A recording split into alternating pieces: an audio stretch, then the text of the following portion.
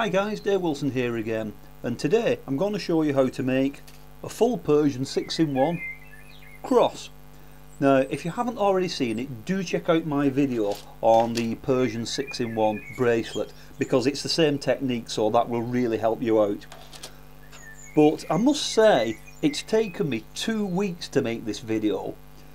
Making this cross is actually quite simple. It's surprisingly, it's not as difficult as it looks but trying to do it on camera under a macro lens without moving anything and try and get the right shots and then dismantling it and showing it again from a different angle it's taken two weeks a two page script and an awful lot of experiments in order to get all the shots I need to explain this fully so I hope you appreciate the work that's gone into it and I hope you have a go and you manage to make it because it really is a beautiful thing and it's worth having a go.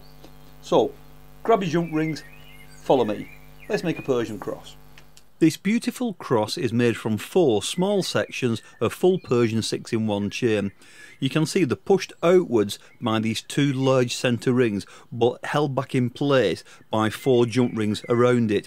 It is a bit fiddly but there's only a couple of basic moves and I'm going to show you a few tricks and cheats too along the way. So let's get started. To make it easier for you to follow, I'm using two different colours here, silver and copper, but the rings are all the same. You're going to need 53 jump rings. So here I've got 26 silver and 27 copper. I'm using 1.2mm wire on a 6mm mandrel. So this gives me an aspect ratio of 5 and it is vital that you stick to this ratio. You also need two larger rings these are also 1.2mm wire, but these are on a 10.5mm inside diameter with an aspect ratio of 8.75. Now just to show you why, if you put four small jump rings together, then the larger rings need to pass through the centre point of each one of those four rings, so that's the size that large rings need to be. Before we begin, we can speed things up by closing 16 rings in this case the silver ones. The rest can all be opened. And note how my rings are opened. Holding in the right hand and bending the left side down towards me like that. This is important as this will help you later. To simplify the explanation, we're going to start by making all the four sections exactly the same. Later on, I'll show you how to extend the leg section and add the extra link to the top for the bail. So we're going to start by making four sections of 232 chain like this. To do this we need 16 closed links, the silver ones here, and 12 open links, the copper ones here. Start by taking an open ring, copper, and adding four closed, in my case silver ones, and close it. Add a second open ring, through the same four, close it, and then add a third. So we've got this four in three, or if we open it up, two, three, two. So repeat this with the other jump rings to make four little sections. You should now have four little sections of two, three, two chain. Now we need to make these into little sections of full Persian. So firstly, grab one of your 232 chains and wrap some thin wire through the two end links. This is just a twist tie. Next, we're going to rotate the other end links back, one up and one down like this, and try to hold them. Next is what I call the flip move.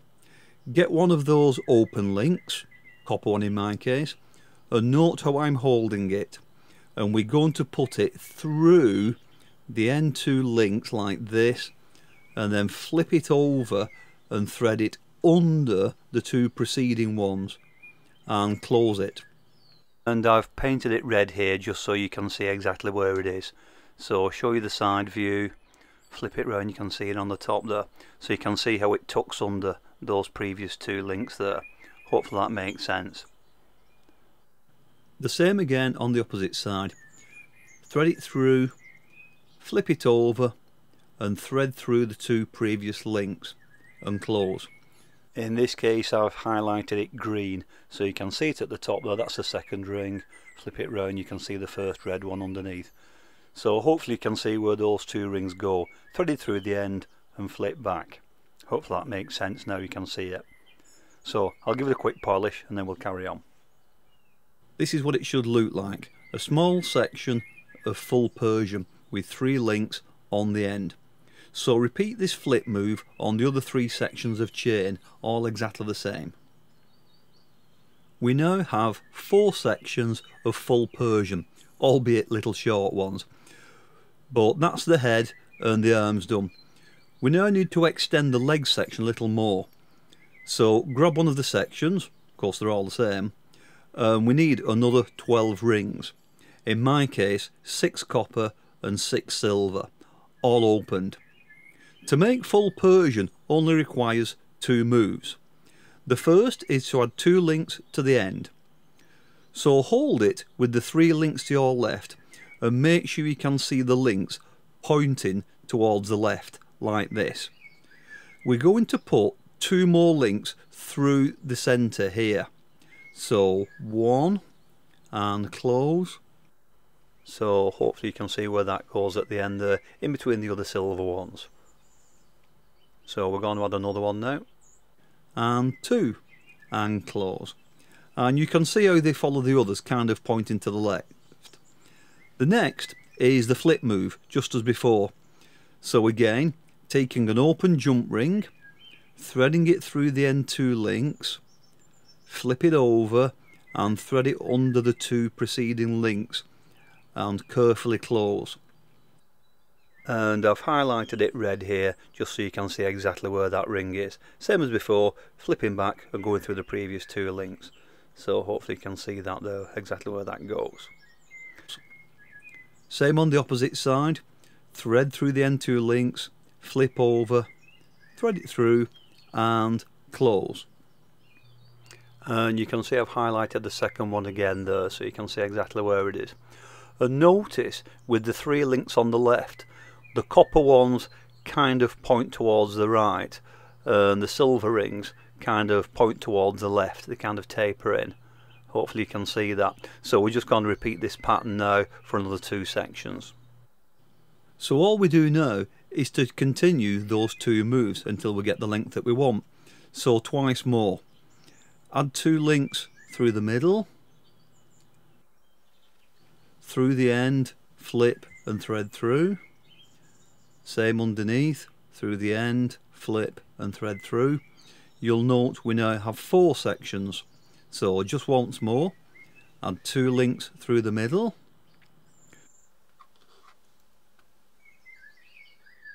Through the end, flip and thread through. Same underneath, through the end, flip and thread through and we've now got five links on each side. So that's legs done. We can now turn these four sections into a cross. So open one of the large rings and thread it through the top of the leg section. Note carefully how it goes through these two links but on top of the end link here. Continue to thread the other sections on, it doesn't matter what order they are because they're all the same. Just make sure that the three end links are all in the same direction facing you. Once they're all on, close the big ring very carefully. Check that everything looks identical. Eight rings going through and all four central rings should be underneath the large one. Any problems, undo the large ring and thread them on again. If you're happy, then turn it over and we're going to add the other large ring onto the back. It's a little trickier this time, but rotate the ring and kind of corkscrew it into your links one at a time. The last one is always awkward, but it will go, so just keep turning. Close the ring carefully, and again, check that it's all symmetrical. At this point, you could solder the large rings. It's not essential, but it is easier than it looks. If you can, it will prevent it from bending later. Personally, I zap it with my Orion pulse welder, so it's really simple for me. The last stage is to add the four connecting links which hold all the arms together. Each link goes from one section to the next on the outside of the large ring. The first is going to go here, connecting to the left arm. So through and close. Once again I've just painted it red so you can see and hopefully that's clear where that sits there. So it connects the top of the legs to the left arm. So hopefully you can see that there. Same on the other side, connecting the legs to the arm through and close. There, once again, arm to the head through and close. Now the last will be tight as this what creates the stiffness and the tension. If you find that you can't get it through at all then just check those central rings again as you've probably got something wrong previously. But once the fourth link is in place the cross should be rigid and keep its shape. You can leave it there if you want but I'm just going to show you how to add that bail. At the top here just remove one of those three links carefully. Just reattach it back in the middle, but only through the end link and close. See that? And double it up by adding another link in the centre. And there you have a nice matching bail. Quick spin in the tumbler and you're good to go. A really lovely gift. The full Persian 6 in 1 cross. I've been Dave Wilson. Thanks for watching and I'll see you real soon on the next video. Bye for now.